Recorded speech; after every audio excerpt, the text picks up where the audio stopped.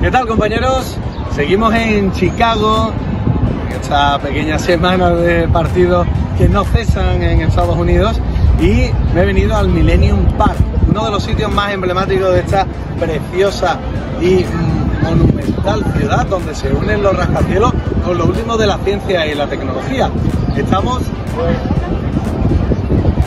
el famoso monumento en este Millennium Park, un sitio precioso que aúna pues todo lo que es la tecnología con la ciencia y lo más interesante, un sitio lleno de espacios verdes donde los ciudadanos de esta preciosa ciudad vienen también a pasar sus momentos de aire libre. Importante el partido y entramos en profundidad ya para hablar del Rayo Vallecano, el rival de esta semana, un rival que viene a hacerlo muy bien ante el Valladolid y muy mal ante el Elche. Un equipo de Iraola que ya el año pasado conocimos en profundidad, sobre todo la banda de Los García, muy importante en verticalidad, en potencia y en finalización, y también el centro del campo. Un equipo de autor.